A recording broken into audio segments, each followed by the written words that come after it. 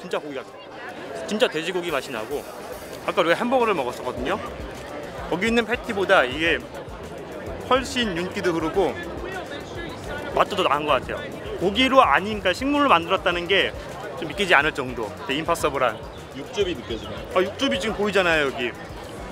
안 보이나? 대체 육류 맛설.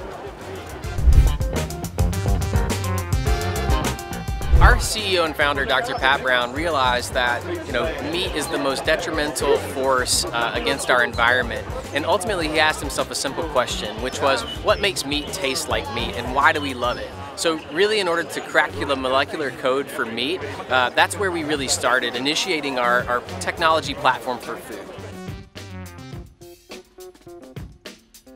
Uh, typically, people think that vegans or vegetarians are, are really uh, categorized to love our products, but ultimately, our mission is to replace animals in the global food system. So, ultimately, we seek out meat eaters. So, the influence of our product is, is very interesting in that over 96% of our folks are self identified meat eaters who are eating our products. So, we're actually checking the box on our mission by uh, converting these uh, meat eaters from, for a compelling product that actually delivers against the sensory experience that they expect.